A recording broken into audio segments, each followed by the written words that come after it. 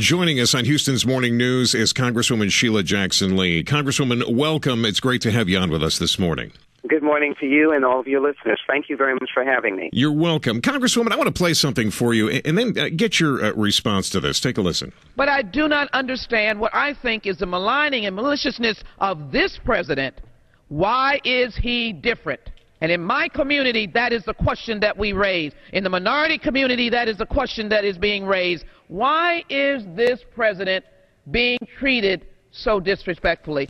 A lot of folks in your uh, in your district listening, uh, Congresswoman. Why do you think he's being uh, treated differently, or in what way is he being treated differently? Well, I think the historical record shows that there is a difference, and over the last hundred plus years, uh, we're not at 2017, but uh, under 100 years, the uh, debt ceiling has been raised uh, in a way that has been perfunctory.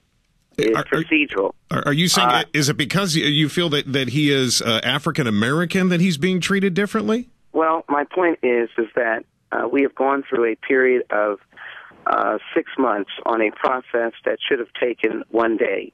And, and Uh, do, do President Reagan uh, had the debt ceiling raised for now 17 times. no, I understand, but Uh, do, do you feel do you feel that it do you feel that it's because he is he is African American? I, I guess. pres- it, if if I may just finish my point, if the president um, uh, has been confronted by comments such as "you lie," uh, there have been a number of incidences that I believe have shown a disrespect to the office of the presidency, which we've never shown. is it we have because had he's African disagreement with the American? we have had a disagreement with the policy of the president, and I believe that that is a question that those who are treating him differently What do you think, though? Do you, do you think that it's because uh, he's African American? I mean, is, I is that what you were I suggesting? Have raised, I have raised the question, and frankly, I believe uh, that that is a possibility. But remember now, I asked the question. It is appropriate for those who are treating him differently uh, to uh, give the answer. And might I say that a number of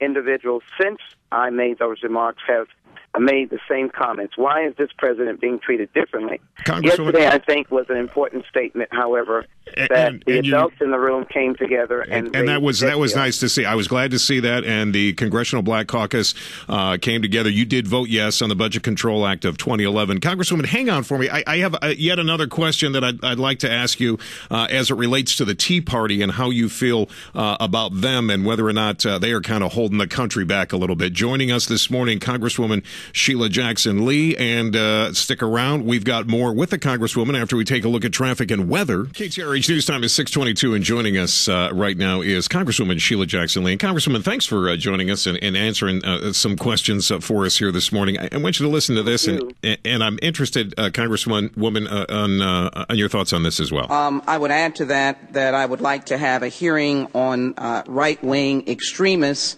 ideologues who uh, advocate violence and advocate, uh, in essence, the terrorizing of certain groups. Now, uh, the vice president has referred to the Tea Party folk as uh, terrorists. Uh, even John McCain has referred to them as hobbits. Are you referring to the Tea Party when you made those statements?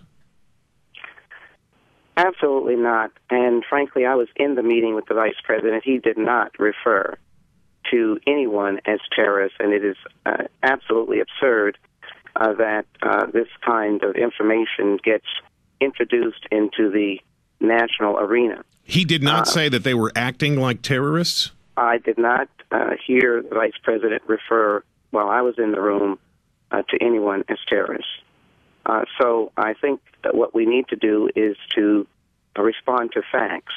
And my comments were in a Homeland Security hearing where I was requesting a hearing uh, on issues dealing with domestic terrorism, that all aspects of domestic terrorism should be looked at. And uh, those had to do with reports from the Southern Poverty Law Center and statistics that uh, were introduced into the record that showed uh, that there were a number of groups uh, in America that should be looked at. Can you can you uh, name can, can you name one or one or two of them uh, for me, Congresswoman? I'm just curious as to who we- we'd be referring to here. Well, you can um, refer yourself to the Southern Poverty Leadership um, reports, which are about 38 pages, and it gives a whole list. Can, can you can you give me can you give me one? I mean, just uh, I, No, I, I would not. I would not want to list a group when I don't have the document in front of me, but I did Okay. introduce it into the Homeland Security Committee. Uh, and I would hope that uh, the chairman of that committee will uh, review that, and we will have hearings as we continue to have hearings on domestic terrorism. That we will go ahead and have hearings on such. But I can assure you uh, that uh, there was nothing listed on that group that would uh, uh, state the name Tea Party. I did not see that, so I've never called. But, uh, Congresswoman, we we, we have uh, this this Muslim soldier uh, that was AWOL from Fort Campbell that we saw was planning uh, an attack on Fort Hood. And again, uh, with all due respect, it does seem to the American people uh, that it is the Muslims, and these would be extremists, not all of them, that seem to want to kill Americans. Would you not agree with that? You just made a very, very important point uh, that there are individuals who may be of the Muslim faith who we have found uh, in the United States uh, who are interested in doing damage to the United States. I have never quarreled with that.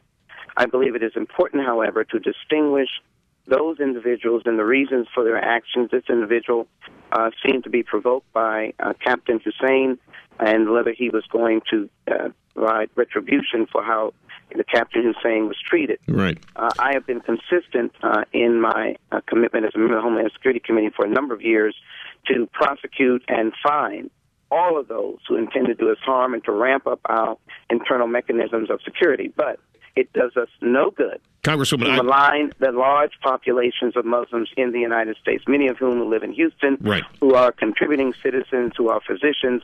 And whenever I, I, have the opportunity to stand against I them, thank, I will. I, I, and I thank you for that. Listen, I thank you for your time, Congresswoman. I hope that we get an opportunity to talk again. Have a good day. Likewise, and we voted to increase the debt ceiling for the betterment of America, and I hope that all groups will look forward to working together with the president in Thank compromise you. and moving the country forward. Thank you, Thank Congresswoman. You. Thank you Thank very much. All right, there she is, Congresswoman Sheila Jackson Lee.